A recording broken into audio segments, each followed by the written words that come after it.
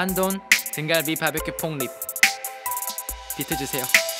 등갈비 손질한 뒤에 핏물 빼 잡내 제거해. 양파 마늘 통후추 하나 더 월계수 잎 해 풍다운. 40 50분 정도를 팔팔 끓여 삶아주며 그동안에 준비할 건 등갈비에 발라줄 양념장이야. 돈가스 소스 다진 마늘 케첩 매실청 올리고당. 맛술 물 후추 굴 소스 마지막으로 간장 다 삶아진 등갈비를 건져서 찬물로 한번 헹궈. 뼈마디 나눠준 다음에 프라이팬에 노릇하게 구워. 앞뒤가 노릇하게 보이면 양념장을 넣고 약한 불 졸여. 거의 없어질 때까지 계속해서 등갈비를 졸여주면 돼. 심장을 울리는 비트와 함께 한돈 등갈비 바베큐 폭립 레시피를 즐겨봐